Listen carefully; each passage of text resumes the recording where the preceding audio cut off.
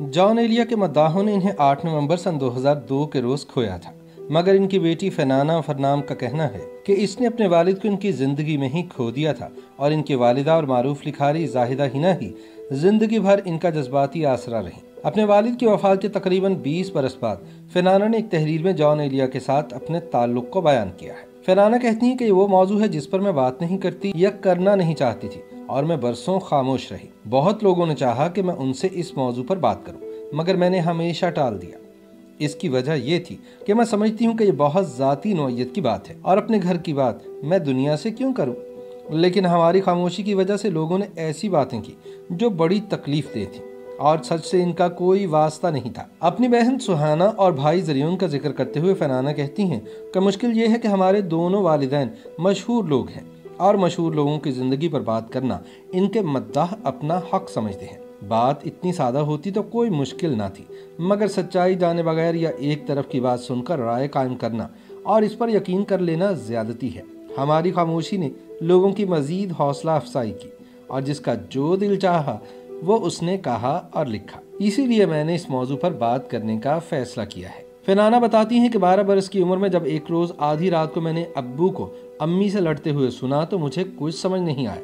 उस कैफियत को मैं आज भी बयान नहीं कर सकती। मैं सुबह के इंतज़ार में जागती रही, मुझे अम्मी से बात करना थी। ताहम उस रात मेरी आँख से एक आँसू भी नहीं गिरा था। सुबह जब मैंने अम्मी से पूछा कि क्या कल रात आप अबू से लड़ रही थी तो जवाब में जो मैंने सुना, उस पर मुझे यकीन नहीं आ रहा था। वजह यह थी कि मैं अपने माँ बाप को दुनिया का आइडियल कपल समझती थी और अब्बू मेरे आइडियल थे। मैं उनसे बेपनाह मोहब्बत करती थी।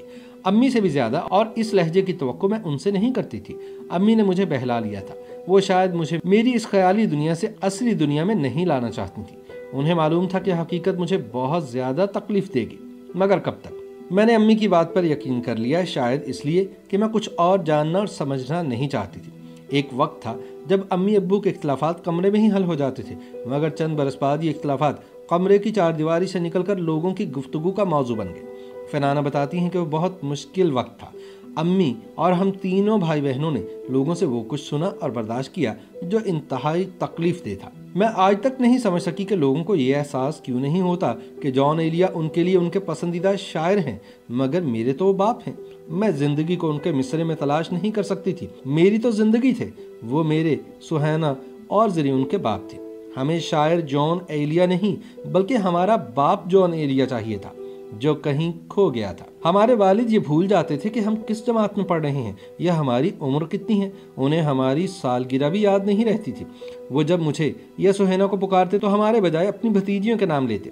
अबू ना तो खुद अम्मी को कबूल कर सके और ना उनके खानदान ने अम्मी को कभी कबूल किया। इसलिए कि अम्मी अमरोहा की नहीं थी और ना ही वो शिया मज़हब से ताल्लुक रखती थी। इन बातों की वजह से अम्मी अबू में वो फासले पैदा हो गए, जो वक्त के साथ बढ़ते चले गए।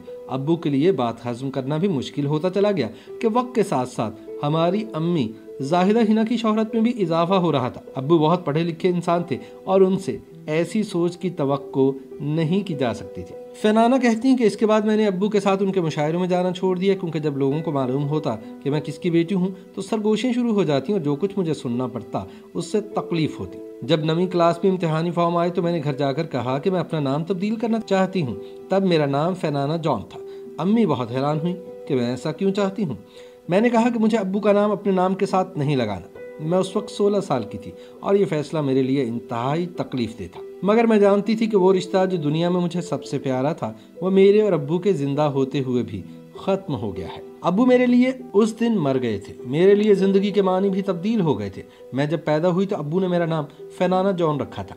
अबू से जब मेरा रिश्ता टूट गया तो मेरे लिए सब कुछ बदल गया। मेरी पहचान बदल गई और ऐसा अब्बू की वजह से हुआ। इसलिए मेरी जिद थी कि अब जो नाम रखा जाएगा, वो अब्बू ही रखेंगे। चुनाचे उन्होंने मेरा नाम फनाना फरनाम रख दिया। फनाना के मुताबिक एक वक्त था जब मेरे लिए बहुत मुश्किल था लोगों का सामना करना और उनके चुपते हुए सवालों का जवाब देना। मगर फिर मुझे समझ में आ गया कि मैं अब्बू के किए की जिम्मेदार नहीं हूँ।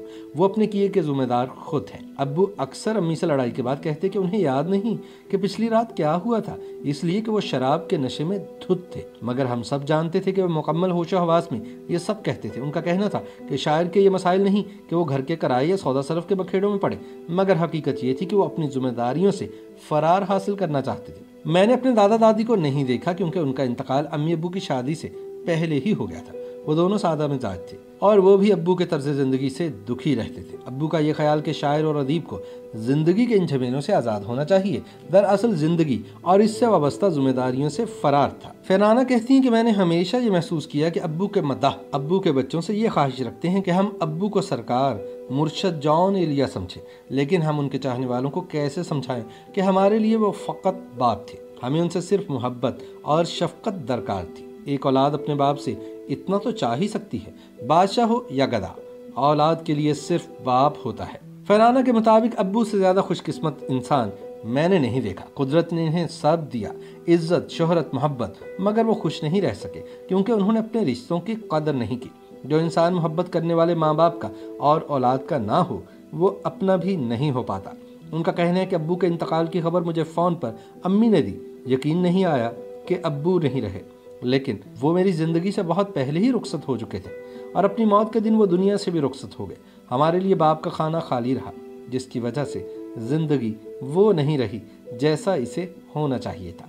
ताहम अम्मी हर कदम पर हमारे साथ रहीं। लेकिन ये भी सच है कि आज मेरी बेटी मेरे अब्बू की शायरी पढ़ती है और मेरा बेटा भी कॉलेज से आकर बताता है कि उसके दोस्त मोहब्बत में नाकाम होकर अब्बू जान की शायरी पढ़ते हैं।